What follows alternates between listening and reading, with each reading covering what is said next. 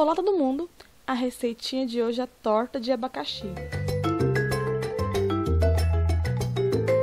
Leve o açúcar ao fogo e deixe derreter até formar um caramelo. Quando ele estiver derretido, acrescente a água e deixe ferver para derreter os torrões de açúcar. Eu usei uma forma de fundo removível, pois era a menor que eu tinha, mas você pode usar uma forma normal.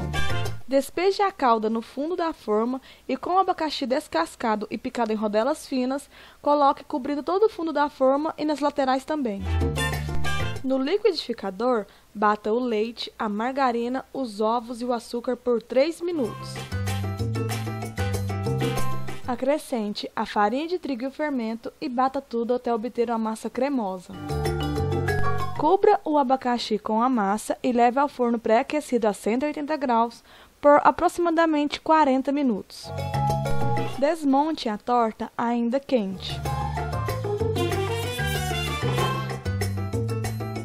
Então é isso, eu espero que vocês tenham gostado do vídeo. Se você gostou, dê um joinha, se inscreva aqui no canal para receber novos vídeos, não deixe de comentar aqui embaixo. Milhões de beijos e até o próximo vídeo.